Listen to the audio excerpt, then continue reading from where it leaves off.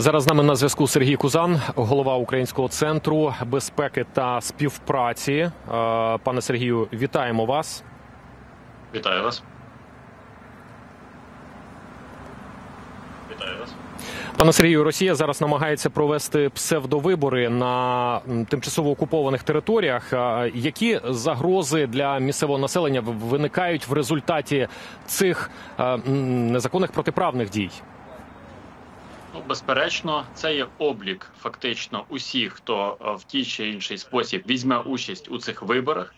Це примусова паспортизація, і знову ж таки це можливість, е, ну власне кажучи, е, для мобілізації самих окупантів. Тому е, всі, хто будуть брати участь у цих виборах, вони звичайно ж під загрозою отримання повісток. Можливо, не в день голосування, можливо, пізніше, але така загроза існує, і звичайно, відправки на фронт. Не секрет того, що Росія відчуває брак людей.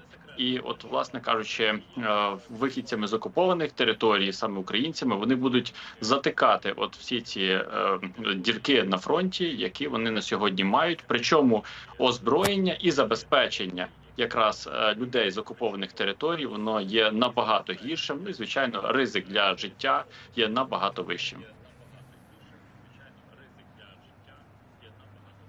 Пане Сергію, мінімізувати ці загрози якось е, може е, держава Україна?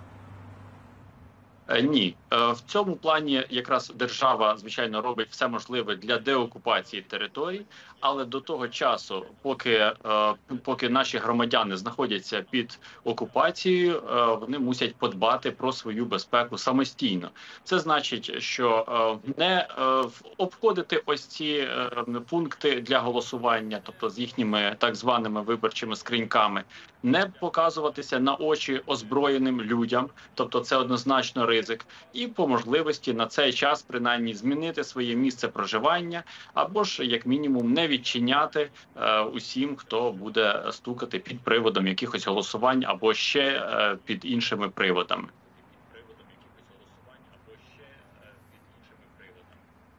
Пане Сергію, з характеру останніх російських повітряних ударів е, можна зробити висновки, що ворог посилює атаки регіонів, які за його оцінкою слабше прикриті протиповітряною обороною. Чи справді це так?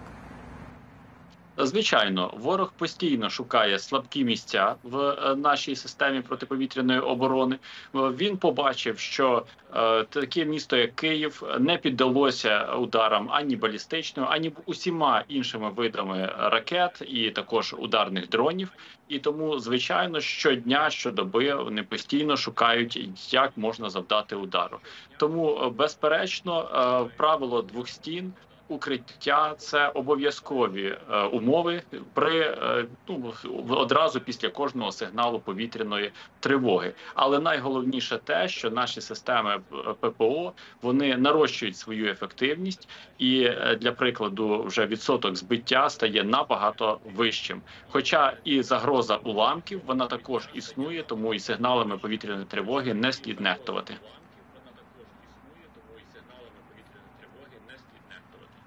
Пане Сергію, під час розмови президента Зеленського із прем'єром Ізраїлю е, Беніміном Нетаньягу обговорювалося питання прибуття до України паломників хасидів. Я думаю, ви теж е, чули про цю розмову. А чи може Україна гарантувати їхню безпеку? Ну от якщо вони, попри застереження, все ж таки вирішать е, здійснити своє паломництво?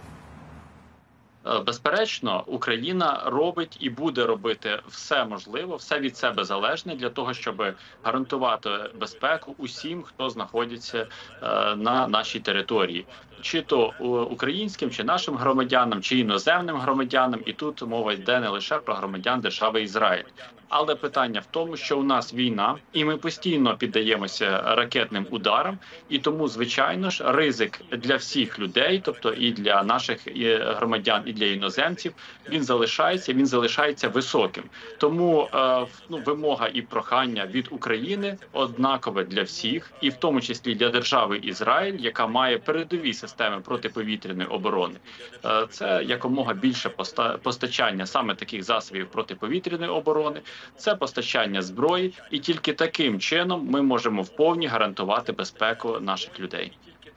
чином ми можемо вповні гарантувати безпеку наших людей.